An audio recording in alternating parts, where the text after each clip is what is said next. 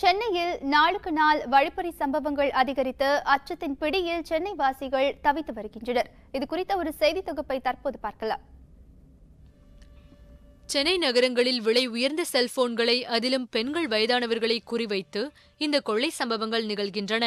நேற்று இரவு Chennai K K Nagar B D Rajan சாலையில் வேலையை முடித்துவிட்டு வீட்டிற்கு சென்ற ஜெகதீசன் என்பவரிடம் கத்தியை காட்டி மிரட்டி மர்ம நபர் ஒருவர் செல்போனை பறித்துக் கொண்டு ஓடினார். அப்போது கூச்சலிட்ட ஜெகதீசனின் குரல் கேட்டு அப்பகுதி மக்கள் தப்பியோட முயன்ற மர்ம நபரை பிடித்து கே. கே. நகர் காவல் நிலையத்தில் ஒப்படைத்தனர். போலீசார் விசாரணையில் அவர் தேனாம்பேட்டையைச் சேர்ந்த பழனி முருகன் என்பது தெரியவந்தது. அவரை கைது செய்த காவல்துறையினர் அவரிடம் விசாரணை மேற்கொண்டு வருகின்றனர். அதேபோன்று சென்னை புளியந்தோப்பு திருமங்கலம் ஆகிய இடங்களில் தனியே நடந்து செல்பவர்களிடம் செல்போன் பறிப்பில் மர்ம நபர்கள் ஈடுபட்டுள்ளனர். இது போன்ற கொள்ளை சம்பவங்களில் அதிகம் ஈடுபடுபவர்கள் இளைஞர்களே அவர்கள் உல்லாசமாக இருக்க இது போன்ற கொள்ளை சம்பவங்களில் ஈடுபட்டு வருகின்றனர். கையில் இருக்கும் துணியால் முகத்தை மூடிக்கொண்டு கண்ணிமைக்கும் நொடிகளில் செல்போனை பறித்து இருசக்கர வாகனத்தில் தப்பிச் செல்கின்றனர்.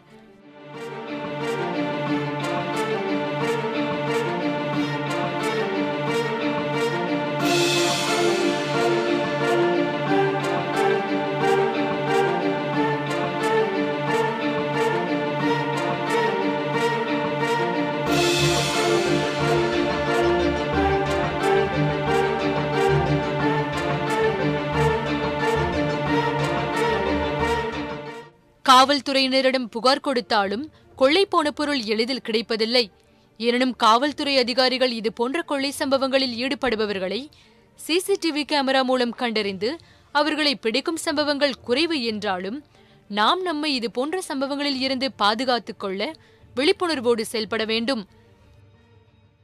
சிசிடி கேமரா மாதிரி சிக்னல் எல்லாத்தையும் வச்சாங்கன்னா நல்லாயிருக்கும். ஏரியாவுக்கு ஏற்ற மாதிரி இப்போ இந்த ஏரியாலாம் கேட்க நகர் பார்த்தா உங்களுக்கே தெரியும் எந்த அளவுக்கு ரிச் ஏரியான்ட்டு அதுக்கேற்ற மாதிரி ஒரு ஒரு தெருவிலையும் அதுக்கேற்ற போலீஸ்காரன் இருந்தாங்கன்னா கொஞ்சம் நல்லாயிருக்கும் மக்கள்.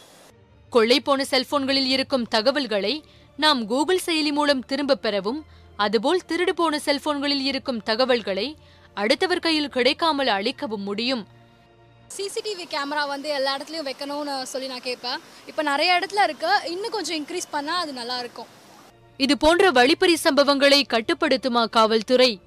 காவேரி செய்திகளுக்காக ஒளிப்பதிவாளர் மனோவுடன் இசக்கி மற்றும் பி பி சிவாவுடன் சங்கர வடிவு.